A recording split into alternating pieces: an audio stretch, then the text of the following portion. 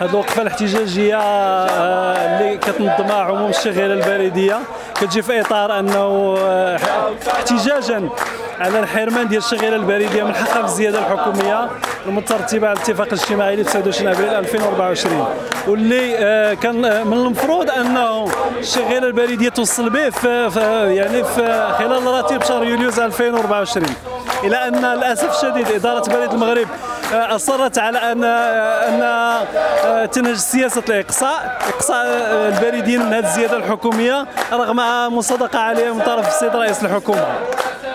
كذلك هذه الوقفة الاحتجاجية كتجي في إطار مجموعة ديال الملفات المطلبيه ديال الشغيلة البريديه وعلى الرأس ديالها النقص المهول في العنصر البشري بحكم أنه خلال الثلاث سنوات الأخيرة نهجت إدارة بريد المغرب لسياسة المغادرة الطوعية بحيث استفدوا مجموعة ديال البريدين والبريديات المغادرة الطوعية.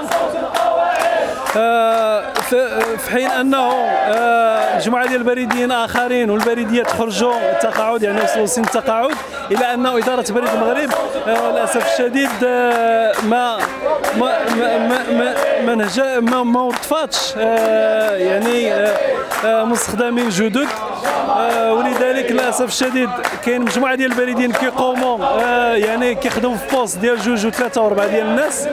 وهذا بطبيعه الحال كيأثر على على على الصحة ديالهم وكيأثر على السلامة ديالهم داخل داخل داخل القطاع. donc في حالة ك comme message لإدارة بريد المغرب ففي حالة ما أنه أصرت على الإقصاء ديال الشغيله البريدية من من من حقها في الزيادة الحكومية القسط الأول ديال 500 ألف درهم فغادي نلجؤوا لمجموعة ديال الخطوات النضالية التصعيدية. ننخرط مع كامل الأسف في هذه المعركة النضالية.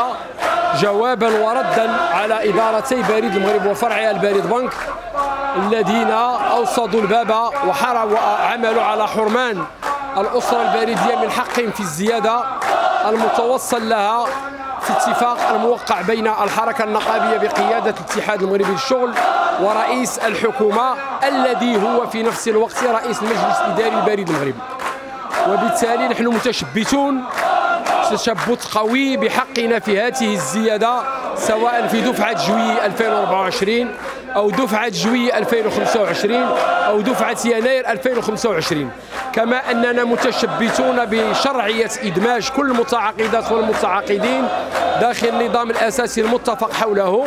ولزوما أن يصدر هذا القانون الأساسي بمثابة مرسوم بالجريدة الرسمية. وكذلك على أن تتحمل بريد المغرب مسؤوليته في مقدمة السيد رئيس المدير العام لبريد المغرب ورئيس مجلس الإدارة الجماعية لبريد بنك من التطبيق القوي والانحياز القوي لمضامين لمضامين الاتفاقات. وكذلك إلى مضامين وبنود القانون الأساسي لبريد المغرب وفرعه وفرعه البريد بنك. لا تنسوا الاشتراك في قناة الأيام 24 وتفعيل خاصية الجرس ليصلكم كل جديد.